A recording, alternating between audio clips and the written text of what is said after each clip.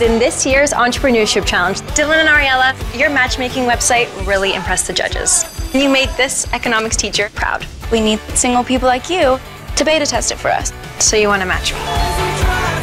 Hey, Dylan. I was wondering if you'd do me a favor. Ariel and I started this matchmaking website. How many questions are there? I think you should let them match you. What's the worst that can happen? Let's work on some lobs. Ow! I'm so sorry. Why didn't you yell incoming or heads up or something?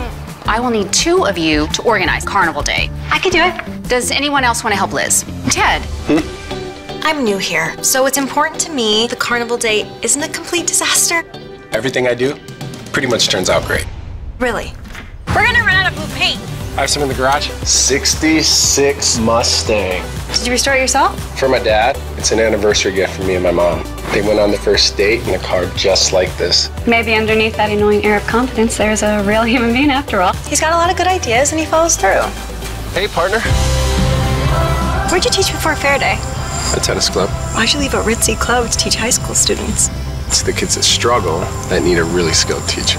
Is it in the forecast that it's gonna rain? I hate to burst your bubble. There is zero chance of rain today. They clearly like each other. They're both on the website, but the algorithm didn't match them.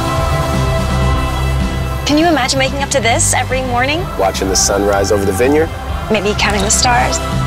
Your parents are so nice. they seem to really like you. Did he tell you he quit the tennis club to come work here? He was fired.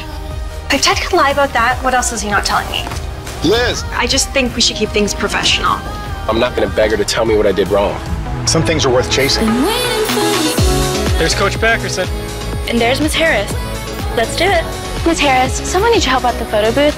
I'm sorry I didn't tell you what really happened. I should have let you form your own opinion. I would still think you were hockey, but someone I've enjoyed spending time with. I've got a little surprise for you outside.